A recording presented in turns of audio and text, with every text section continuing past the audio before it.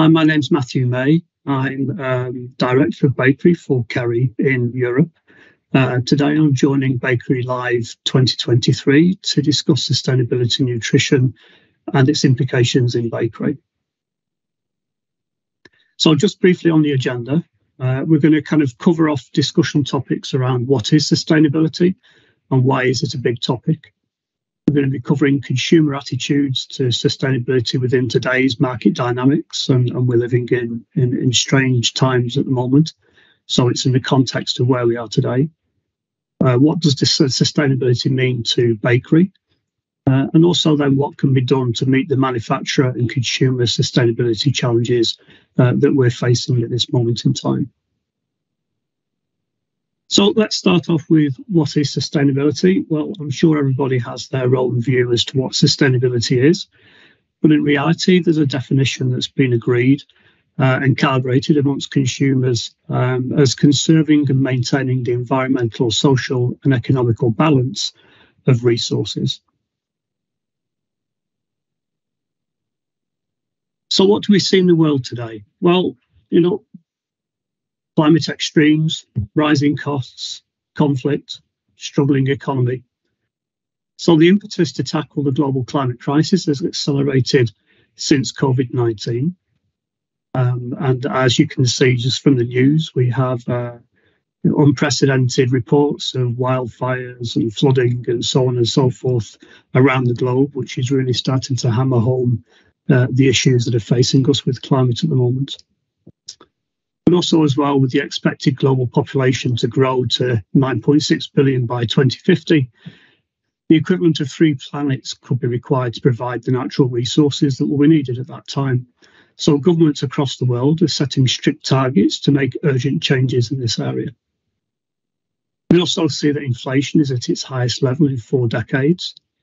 And obviously, the war in Ukraine has added to an upward trend in food quality prices that began in the middle of 2020, actually, but it's been driven by a range of supply chain constraints and also surging demand for the raw materials required. And then, of course, the global uh, economic recovery has slowed, uh, which has been impacted by the war and also broader inflationary pressures. So the consumer and industry uh, is under a lot of pressure at the moment uh, uh, in terms of in terms of the way the world is. And as a result of that, we see food prices rising, we see energy prices rising, and we also see fuel prices rising. What does that mean? Well, you know, the net result is that prices are going up in terms of groceries, um, and this is impacting on the pockets of the consumers. And at the same time, um, you know, there's 30% of all food that's produced in the world um, ending up as waste. Uh, and there's about $936 billion worth of food loss and waste costs to the global economy uh, every year. And if you put that into context, um, it, with all the food waste that's there, we will be the third largest emitter of greenhouse gases if food waste were a country. So just to put it into context in terms of of of, uh, of, of the, the size of the issue that we face. So we're living really in a global paradox. Um, there's 1.3 billion tons of food wasted annually, and there's 693 million people on the planet that are actually malnourished. And the time is really to act now, uh, and, and there is hope. There is enough food to feed the planet if the world reversed the current trend of food loss and waste we preserve enough food to feed 2 billion people. And that's actually three times the amount of undernourished people on the planet today. At Kerry, we live by a sustainability nutrition, and it's our ability to create nutritional solutions that help maintain good health while protecting people and the planet. And that's uh, the ethos that we live on a daily on a daily basis. Regardless of how it gets defined, sustainability is top of mind for consumers around the globe with 73% of consumers saying they would change their behaviour to reduce negative impacts on the planet. 78% of global consumers associate food waste with sustainability, and 44% of consumers globally are willing to pay extra for food and beverage products that help solve the food waste problem. Also, 81% say everybody needs to do their bit to make more sustainable choices, 73% say they're willing to make changes to their lifestyles to be more uh, sustainable. And 72% say they'd like to buy more sustainably produced foods, but actually it's too expensive. So there's a, a bit of a dichotomy there. So all that said, um, you know, what is the role of the baking industry in this? And over the next few slides, we're going to cover off uh, a little bit more detail uh, about about that how how that works. And in that, we'll be covering off food waste, nutritional optimization, process and cost optimization, clean label, uh, and also animal derived ingredients. So let's just concentrate a little bit on food waste at the moment. Approximately 50% of all food wasted globally is from bakery. So bakery has got a real problem. And if you think that 1.3 million tons of food is thrown away every year, uh, then in reality, you know, with bakery constituting 50% of that, it's, it's a big problem that the industry as a whole uh, has to face and deal with. And there are a number of ways that we can do that. But the first thing we need to really understand is what is actually uh, uh, pushing our consumers to throw food away or what is generating the food waste that we we experience. Well, the first one is process loss. Um, and with this, we can look to reduce the process loss in our factories and in the supply chain, uh, whether that's with goods in or, or even uh, products out and into the retail chain through good manufacturing practice. Uh, and we can also use enzymes and other functional uh, ingredients to help with reducing process loss. When we then start to look at what's really um, uh, motivating consumers and retailers to throw food away, uh, we can really cut it down into microbial shelf life, textural shelf life, and flavor shelf life. So with microbial shelf life, this is food going moldy or food being um, uh, heavily uh, uh, infested with, with bacteria. Uh, and again, we can do things about this just by good manufacturing practice, um, but also by creating hurdle concepts in terms of controlling mold growth, uh, using uh, packaging systems, for example, uh, or topically applied preservation systems or in-dough preservation systems. Consumers also food, throw food away and bake products away because the texture of that product changes. So cakes stale or bread stales, biscuits go soft, whatever that might be from a baked point of view. And again, when we come to have a look at what we can do in that area, we can be looking at again good manufacturing practice, making sure that we're we're clean and we're consistent in what it is that we're doing. We can also use emulsifiers or enzymes or fibers or hydrocolloids to help with the uh, preservation of the texture over shelf life and also the packaging systems that come into play as well. And then finally, another thing that motivates our consumers to throw food away is the flavour over shelf life. And as we know, through shelf life, flavour can change. We can lose flavour, or other flavours can come in, such as oxidation or rancidity. And again, good manufacturing practice goes a longer way to uh, overcome those issues. But then there are also flavour modulation systems that can be used to help um, enhance uh, flavour over shelf life or lipidic encapsulated flavors or encapsulated flavors that can uh, maybe mask off notes um, or, or, or, prevent those off notes from from starting in the first place. And again, making sure that we have the correct packaging systems in place uh, to deliver the shelf life requirements that we're looking for. So it's not just one thing, and this is why we have to take uh, the preservation of food um, in terms of a, an holistic approach uh, so that we can ultimately uh, either increase the shelf life of food, giving our consumers more time to eat the product, um, uh, or, or, or, to preserve the food uh, even better over the shelf life that we have already. When we look at nutritional optimization, what do we mean by nutritional optimization? Well, it's when we look at the market, we've got HFSS regulation maybe coming in or, or maybe not coming in in the UK. And, and across Europe, we also see Nutri-Score.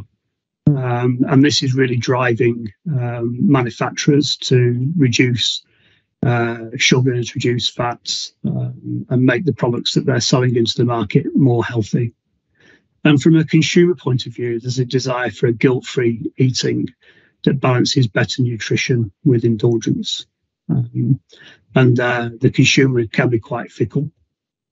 So, uh, if you reduce the sugar or you reduce the fat in a cake, for example, um, if they see reduced sugar or reduced fat on the front of pack on the retail shelf, then their likelihood to buy is reduced. So they want the indulgence. They don't necessarily want fat and the sugar taken out when they're eating it, but they're saying that they want to reduce the and sugar in their diet. So, so again, there's a, a bit of a dichotomy that takes place there. But with bakery, it's never that easy. And when we look at what sugar brings, um, it isn't just sweetness to the baked product. So sugar also brings crumb colour or humectancy or volume or aeration to cakes and muffins. In biscuits, it gives us the browning and the processability of the dough, the texture, the final appearance, the spread, the height. And when we look at pastries, again, it's the texture, it's the flavour, it's the rheology of the dough during process.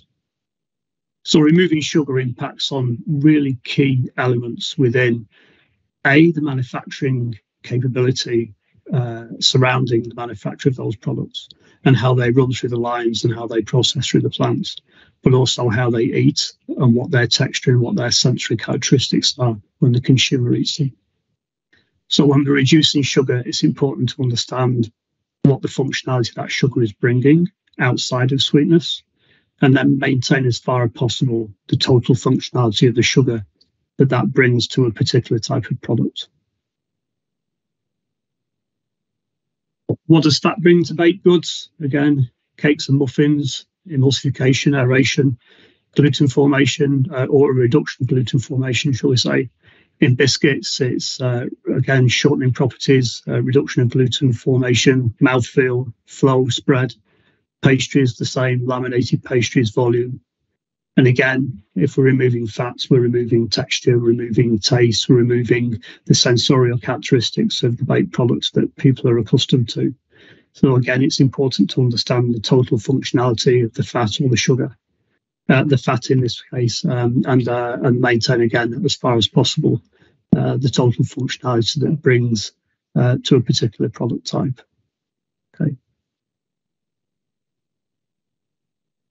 The other thing that's of importance really is process and cost optimization. Um, as we know, uh, there are a number of things happening at the moment in terms of our raw material costs.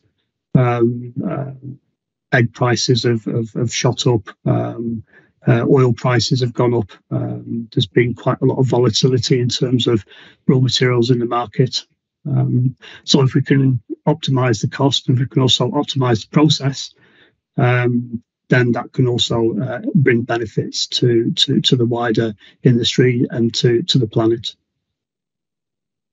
So 72% of our consumers say that they'd like to buy more sustainably produced food, but it's too expensive. And this was covered off a little bit earlier.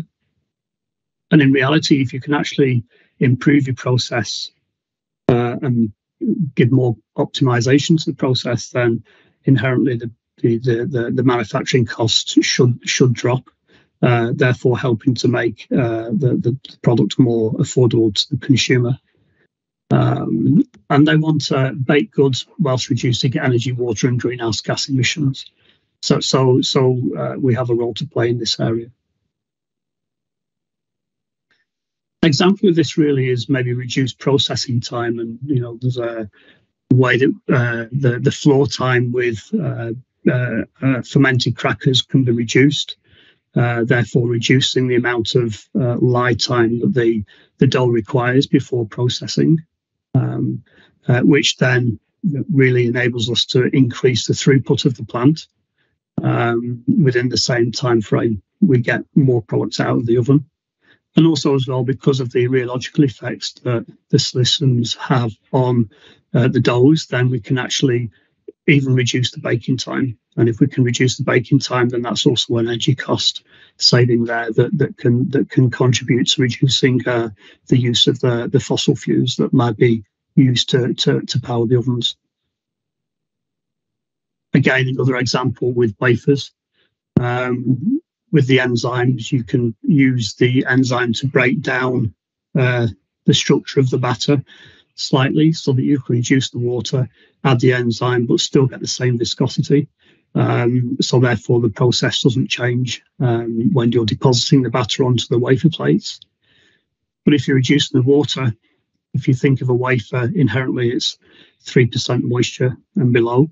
Um, so you have to drive a lot of water off to get to that moisture content. And if you can reduce the amount of water that's going there in the first place, then you don't need as much energy to drive that moisture off uh, to get to the moisture level that you're looking for. And it also had side benefits as well in terms of uh, enabling a more um, robust wafer that is less fragile and brittle, therefore less wastage uh, if uh, things are breaking through through uh, through through transportation and logistics, uh, or even through the process itself. So waste is reduced uh, in that way also. Again, just uh, a slide there to show uh, the, the, the the batter and and uh, over time in terms of the, the reduced water content of 14 liters per 250 kilograms of batter, reducing energy consumption um, uh, shorter baking times and less waste than the batter control. Uh, and what does that mean in the year? Well, if we're looking at uh, uh 850, 853 uh, million kilowatt hours of energy saved, uh, 605 metric tons of CO2 saved, 130 cars taken off the road, and 73 mobile phones charged. And actually, there's an annual operational saving as well, potentially for the bakery of 180,000 euros on energy costs. So again, this is tackling the issues around uh, sustainability with regards to energy. Um, and we're, you know, we're, looking to reduce cost and that cost potentially be then passed on to the consumer as well and help them achieve their sustainability desires as well. We also say clean label as well. And why would you say clean label? Well, a lot of the clean label here, you know, is kind of taking out E numbers or chemicals. Uh, and a lot of the chemicals may come from uh, the petrochemical industry or it might be uh, oils that are coming from the other side of the world or uh, in the manufacture of uh, emulsifiers and, and, other types of ingredients used in the industry. Um, so if there's a, a move for clean label, then um, that's also helping to reduce some of the chemicals that might be used in in the food industry. We're not saying at all that the chemicals are dangerous. We know that they have E numbers, um, and the E numbers are safe or deemed safe to be used by the European Union. And in fact, if it doesn't have an E number, then it can't be used because it's not proven to be safe. So, you know, it's not for one minute saying that um, E numbers are, are bad. Um, it's just saying that sometimes where from uh, uh, probably from less sustainable sources than than, uh, than than might be wanted. Again, there is the argument as well around the palm oils coming from uh, Malaysia. Um, we know within the industry uh, that the palm oil is actually a, a high yielding crop that delivers uh, a, a, real benefit to, to the market, and, and it's a, it's a sustainable uh, crop as it is now. Um, but unfortunately, the consumer uh, relates uh, palm oil to deforestation, um, and that did happen. We can't walk away from that, but there's less deforestation for palm at this point in time. Um, and they see orangutans attacking uh, JCBs and diggers um, and that's the the point that sticks in their mind. So again, you know, we can argue whether it's right or wrong that that's their perception, but that is their perception, and uh, and we just need to try and uh, compensate and deal for that. In terms of clean label claims, um, they are increasingly appearing on front of pack. Um, there's a couple of uh, uh examples there on the slide that you can see. Uh, three quarters of consumers surveyed indicated that they're willing to pay more for food with a cleaner label 20% said that transparency had become more important for them in the past years. and 85%. Um, to me, the product information is of major importance. I want to know what the product contains. So again, there's a level of transparency here that the consumer is demanding when they're, they're purchasing off the shelf. So let's just have a look at an example here. Um, enzymes um, can be used to help with gluten relaxation. Um, typical relaxers in the market will be L-cysteine hydrochloride or sodium metabisulfite in the biscuit industry. Um, and SMS is also uh, an allergen as well. So, um, and uh, L-cysteine, yes, we know that there's uh, uh, vegetarian alternatives available now, but again, it sticks in people's minds that they have come from duck feathers or human hair or whatever that might be. So, whilst the consumer might be wrong, that's what the consumer believes. Um, and, and, maybe sometimes it's just as easy to, to maybe remove those products from, from, from the back pack. And again, with the enzyme here, there's an opportunity to reduce those types of products from the back of pack um, and enable um, a cleaner label as a result. And then the last one really is animal derived ingredients. So animal related claims are on the rise in bakery, uh, particularly with the new launches. Uh, and we're seeing egg free uh, or we're seeing um, made with cage free eggs uh, or made with free range eggs.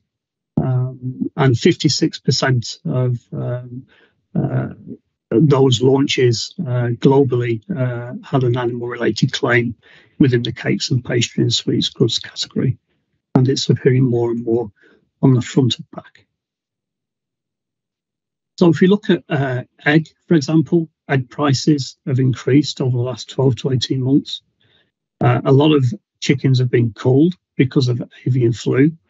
And there is a move away from caged egg to free range egg within the European Union, which is also pushing prices up for the consumer and maybe preventing them from, from achieving their, their sustainability requirements.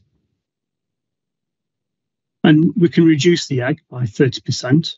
Um, and if we can do that, uh, for a total consumption of 6,000 tons of, of, of, cake, for example, then that's 220 million eggs saved annually. It's 14% carbon emissions avoided and it's 292 cars that are taken off the road. So again, by reducing some of these animal products as well, we're also uh, also helping uh, from from the sustainability point of view um, in that way as well. Thank you for your attention.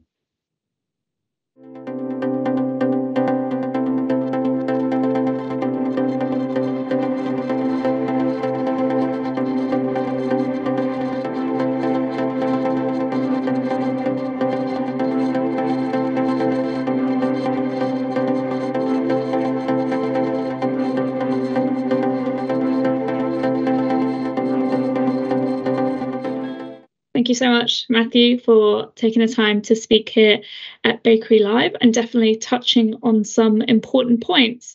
Um, could you tell us why you wanted to talk about this topic today? I think it's a topic that's affecting everybody. So um, it's one planet, and we need to look after it. Um, and at the end of the day, we all we all have our part to play in that. Um, it's quite astonishing that bakery is 50% of all food waste. Um, that's not something to be proud of. and uh, I think we need to highlight it and, and do something different and trying to reduce that um, and, and, and you know, play our part in in reducing that food waste uh, from a global point of view. Absolutely. Um, in your presentation, you spoke about the various methods that um, manufacturers can use to reduce it. Why why do you think food waste is so prevalent in spite of the methods that can be used to tackle it in the bakery industry? That's a good question, and I don't honestly have the answer to it. Um, again, it goes back to that point. We've got uh, a global issue from an industry point of view with a 50% of all food thrown away being a baked item. And it's incumbent on the industry, I would suggest, to, to try and find ways to reduce that and overcome that. We can't do it on our own. Um, I think uh, government has some way to play in this. I think the consumer has things to play in this as well. Maybe it's an education thing. Retailers have a uh, a, a, a, thing to play in here as well. Um, so, so, collectively, it's an area that we, we have to we have to tackle. I don't have the answers yet, but the challenge to the industry is what are we going to do about it because it can't carry on the way it is. Absolutely. Um, just finally, you spoke about um, consumers' perceptions of sustainably baked products. Do you think there is this perception that it costs more? I think there is a perception that it costs more, and and particularly with the inflationary pressures that the consumers are under at the moment. I mean, uh, I, I, can't ever remember food banks um, in the past, and we're in a situation now where there are food banks. Um, money's tight, um, and you know the inflation is, is real. Um, so yes, I do think that sustainability, the consumer is looking at the pocket and thinking this is too expensive, um, and maybe preventing them from going down the sustainability route. But uh, know, as we've seen with some of the um, uh, examples that I've given, if we can reduce our energy input potentially, and we can get the same throughput, if we can reduce our raw material costs, um, you know, by reducing egg as it's expensive at the moment or whatever it might be, then, you know, we're also helping our consumer then if we can pass that saving on to them in some way uh, to achieve those, you know, makes it easier for them to achieve what they want to achieve in their hearts as well. All, all working together to our bit. Absolutely, all working together to our bit. It's everybody's collective responsibility to to deal with it and sort it. Yeah. So it's it's a really nice message and one to end on. So thank you, Matthew, for taking the time to speak with me and providing some real food for thought. If anyone has any questions about a session, please reach out to him. Thank you very much.